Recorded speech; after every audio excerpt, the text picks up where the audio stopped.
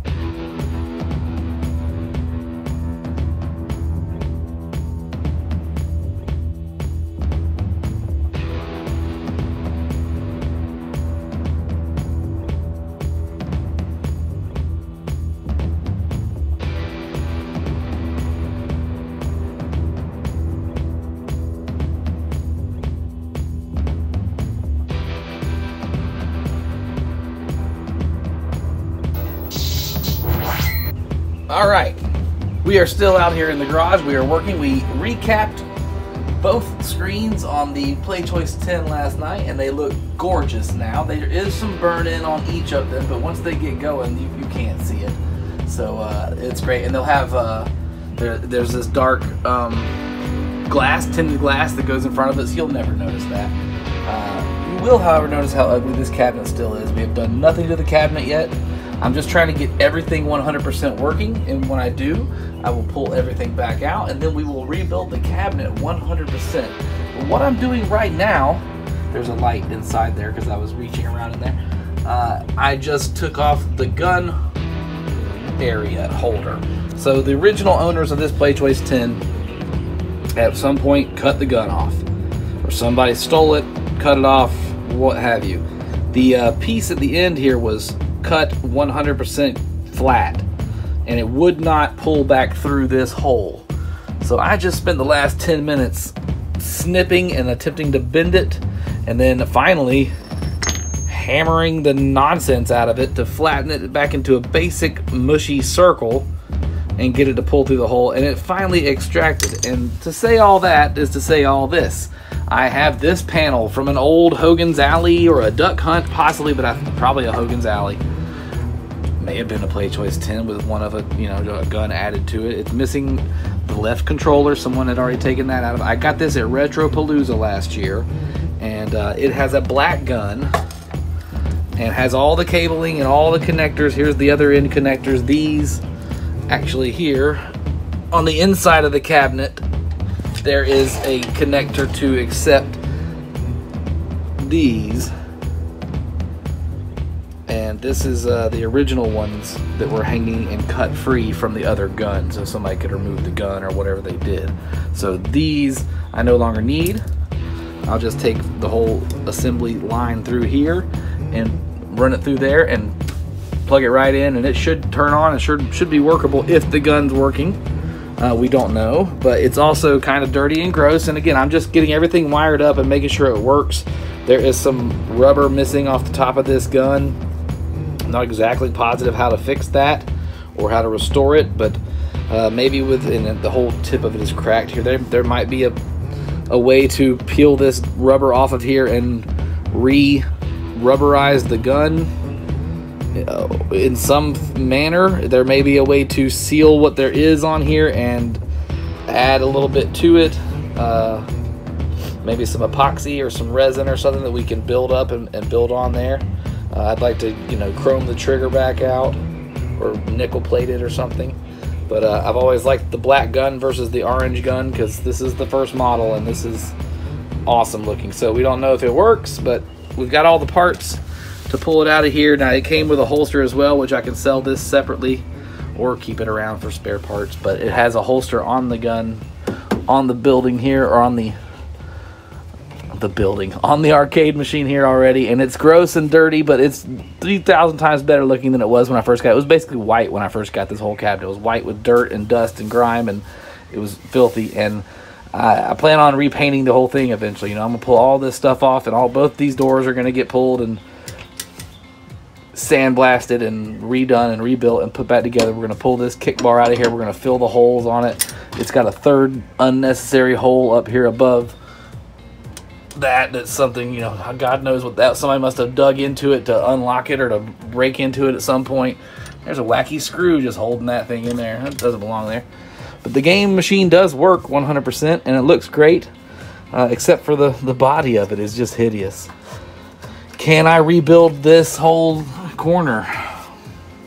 I mean yes and scary is part two of the answer to that. We need to get some wood hardener we're going to need to get some new veneer. Like this is a full-on project to do a 100% restoration on it, and uh, this is a machine that I plan on keeping. I like to, I like to keep the things that it takes me the longest to work on. So I, I save big projects for a while, and I get around to doing them eventually. And right now I'm up and running on this one. So what we're going to do here is unfasten the rest of these bolts that are holding the gun in place here. I already took one off working on, actually I got the second one loose here. And we're gonna take the rest of these four off and pull the cord. Th these actually unscrew and this thing will spread open a little bit and you pop the cable back through it. And then that's gonna be, I'm gonna use this plate, the one that came with this gun. Actually, yeah, I, I'm not sure. Maybe, maybe I'll use that one. This one, this one was the one that was on the machine, but I think that's the exact same thing and uh, maybe a little bit different shape, but at least width wise. Either one. Now I've got some extra bolts too. It was missing two of the top bolts, so we've got some extra bolts that are coming through right here. There's one there. And uh, so now we can do that and clean those up and paint them black and get them all nice and good, good looking again. But that's what we're doing out here in the garage today. It's a lovely, beautiful day. There's the wild cycle. It's pulled out. Tempest eventually is gonna, we're gonna get around to you, buddy. We're going to get over to you. Robocop works. Jungle King uh, is playing blind still. I recapped it and it's still playing blind, so I'm not sure. It might be power supply issue. I need to get a new power supply. Uh, that Crystal Castles works. I'm, I'm running out of projects. Arkanoid's up and running. Super Cobra needs new ROM set, but it's up and running as well. It'll boot the game. It just looks like garbage, so I think the ROMs are bad. Um, Ms. Pac-Man needs its Ms. Pac-Man's over here, and it needs uh, needs monitor recap on it. It's playing blind as well, as far as I know. Asteroids, I'm waiting on the other side of the side art to come in. I messed up when I put on the original one and it looked bad and I got mad and I just ripped it off so I'm, I had to order another set and I still haven't capped it but I'm not sure if capping it is going to be needed now that I've been doing some more research on because the spot killer's on so the spot killer's on that means it's not getting the right power supply so I need a new power supply for it too so we might get a new power supply for it haven't done it yet. It's just a magnet. Oh, and this is a Pac-Mania, but it works 100%. Uh, it could stand a cap job too. Uh, I haven't gotten around to it. But this side of the room is almost done. All these projects are almost finished, and it's time to start selling things and get more stuff to play with. Hooray! Uh, we will we will show you the progress of this as we get it going.